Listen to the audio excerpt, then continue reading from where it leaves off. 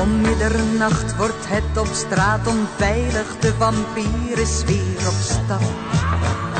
Ja, je kan dan wel lachen, maar je zegt zoiets toch heus niet voor de grap.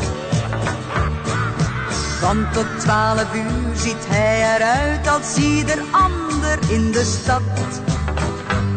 Maar klokslag middernacht, dan gaat hij als vampier op pad.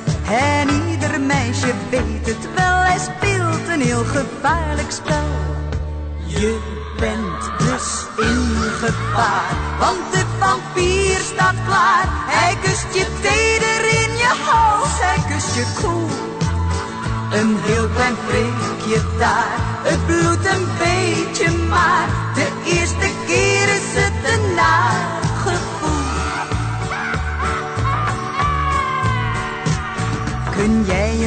herinneren dat dokter Frankenstein een dochter had? Hij gaf voor haar verjaardag toen een groot gemaskerd bal voor heel de stad. Maar niemand had die vent in zwart gezien die uit het kerkhof verscheen.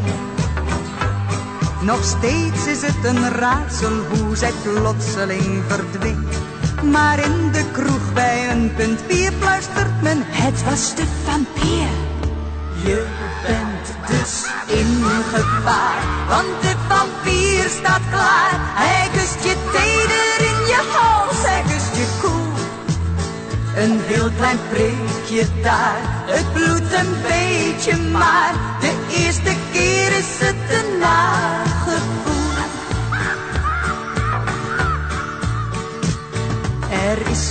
gewaarschuwd bij het nieuwsbericht op radio en tv. Hij is gesignaleerd door een pastoor die op vakantie was aan zee. Hij is wat ouder, zijn gebit is niet meer best, te drinken valt niet mee. Maar jong geleerd is oud gedaan, dus meisjes kijk goed uit. Zo'n vent als hij drinkt heus geen bier, tenslotte een vampier. Je bent dus in gevaar, want de vampier staat klaar. Hij kust je teder in je hals, hij kust je koel.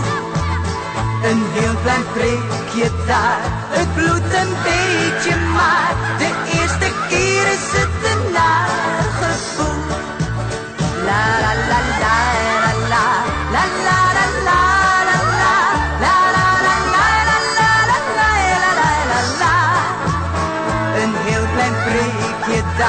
Het bloedt een beetje, maar de eerste keer is het een.